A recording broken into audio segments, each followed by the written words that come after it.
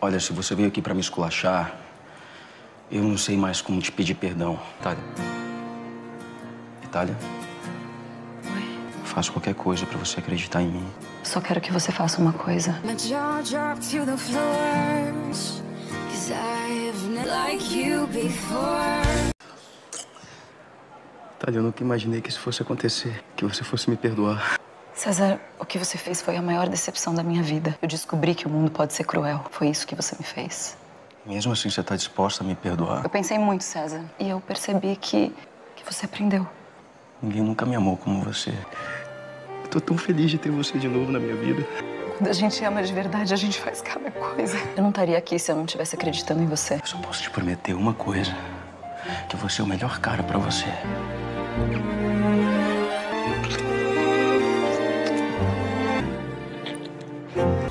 Vou deixar você me enganar de novo, não, César.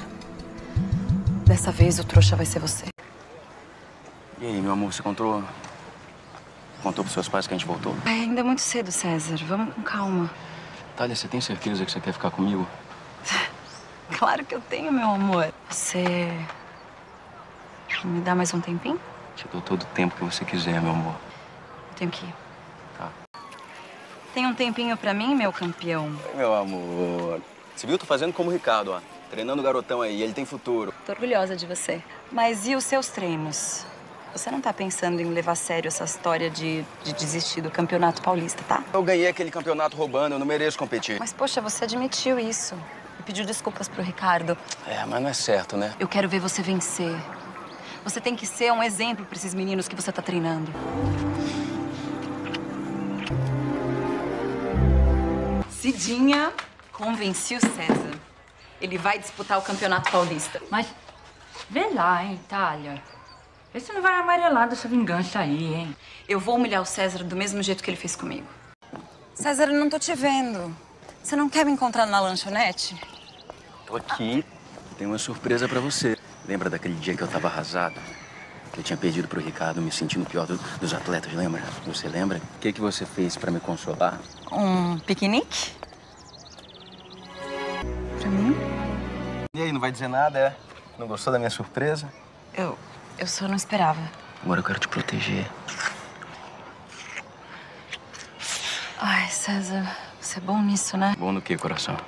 Nesse, nesse negócio de piquenique. Muito mais bonito do que o meu. Ah, imagina, que isso. Aquele lá foi mágico. Foi naquele dia que eu percebi que eu te amava. Que eu tava sendo um babaca, um idiota. Thalia, eu quero passar o resto da minha vida do teu lado. Deixa eu pegar aqui, ó. Hum, tá tudo tão bonito. Deve ficar uma delícia, né? Se o César mudou de verdade, depois da vingança, ele vai me perdoar. Agora, se ele não mudou, se isso for só um teatrinho, aí essa vingança fica sendo como um castigo. Tava pensando, a gente podia contar pra tua família, né, que eu mudei. Eu sei que no começo vai ser difícil, que eles não vão aceitar. Mas a gente podia tentar, né? O Campeonato Paulista é daqui a alguns dias. Ah, O que, você acha de a gente fazer um jantar na sua casa? Igual aquele que a gente fez outra vez, lembra? Aí a gente comemora a sua vitória e conta pra família inteira que a gente tá junto, que a gente voltou. ninguém nunca me apoiou tanto na vida que nem você. Às vezes eu me pergunto se eu mereço alguém assim como você.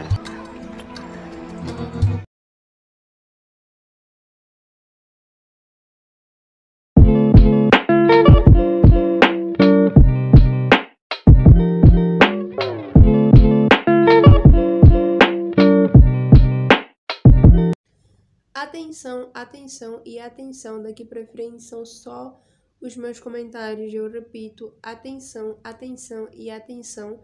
Daqui pra frente são só os meus comentários. Quem quiser as três histórias sem os comentários é bastante simples. É só interromper o vídeo neste momento, esperar eu postar a próxima parte e assistirem os primeiros minutos da próxima parte, que é a continuação desta parte, tá bom? Hello YouTube! Oi queridos, oi pessoal, como é que vocês estão? Eu tô bem, graças a Deus. Engrandecemos o nome do Senhor porque Ele é bom o tempo todo. Queridos, para quem sabe ler já leu, para quem não sabe ler com carinho com respeito eu explico.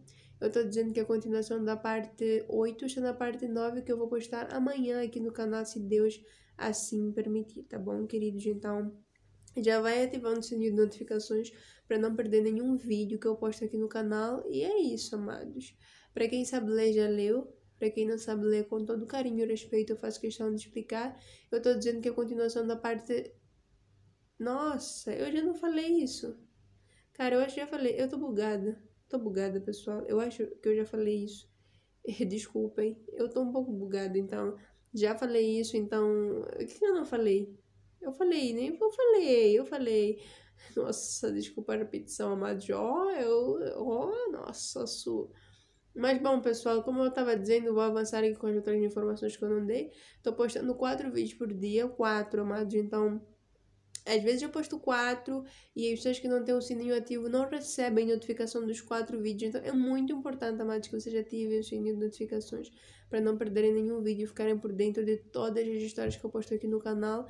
E é isso, queridos. Então eu faço questão de explicar essas coisas. Eu acho que vocês já perceberam que eu explico essas coisas sempre, em cada vídeo, porque eu creio no nome de Jesus que está chegando gente nova aqui no canal. Inclusive, sejam bem-vindos, novatos. Muito obrigada por toda a força, muito obrigada por todo o apoio. Que Deus os abençoe. E eu espero muito que vocês gostem do canal e das histórias. Mas antes de eu começar aqui a comentar sobre a parte 8 em si, eu gostaria de uh, fazer os meus pedidos.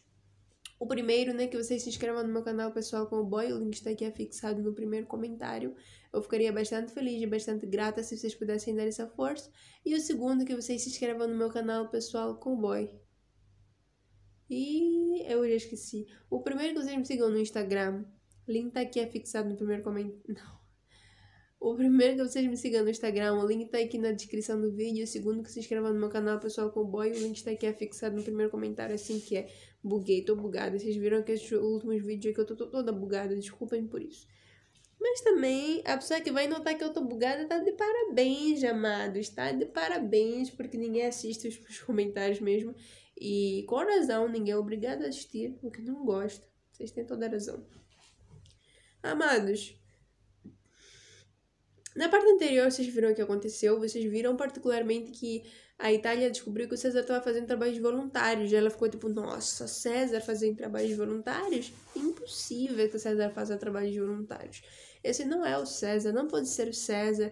E ela associou tudo aquilo a alguma armação. Ah, César tá fazendo isso só para eu, eu, eu, eu, lhe perdoar. César tá fazendo isso só para eu voltar para ele. Isso não vai acontecer. Tanto é que ela disse isso pro César. Eu achei ridículo ela ter dito isso porque o César nem estava mais procurando ela. Então, César nem tinha como saber que ela ia aparecer lá porque ela não fazia trabalhos voluntários.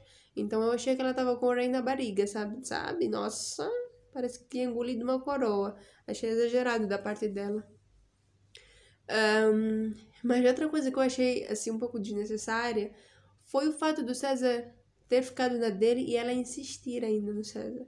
Por que, que tu achas desnecessário, Soraya? Porque o César já tinha pedido perdão da forma que ele podia.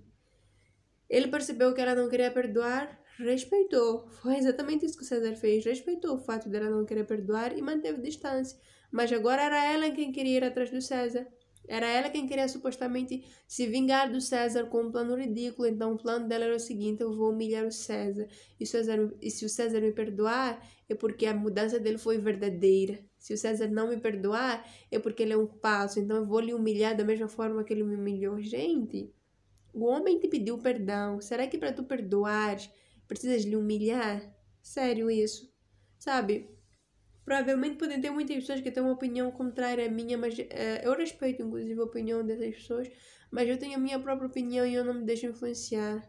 Ele pediu perdão, ele estava arrependido de verdade. Então, é o que a Bíblia diz: a raiz da amargura impede que a bênção, a bênção de Deus chegue até ti. Então, se a Itália não queria perdoar, era ela quem ficava amargurada. Vocês entendem? Era ela que não ficava em paz, porque o César estava sendo verdadeiro.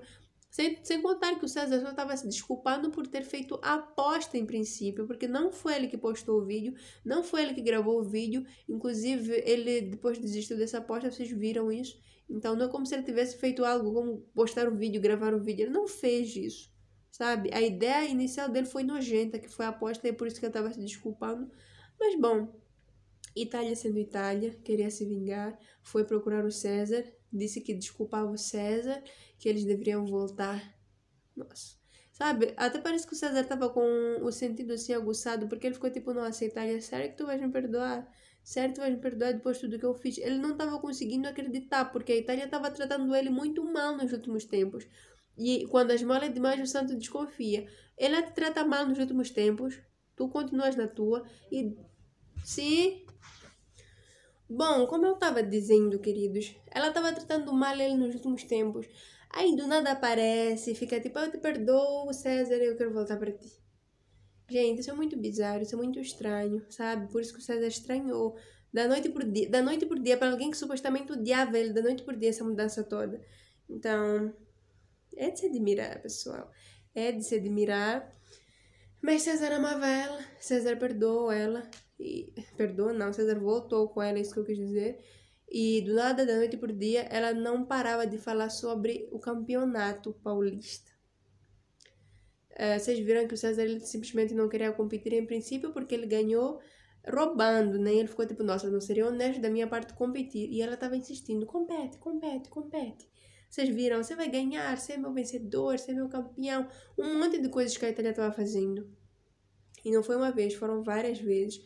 O César, tanto aqui, voltava para o assunto de vamos conversar com a nossa família. Ela não queria conversar com a família porque ela queria se vingar.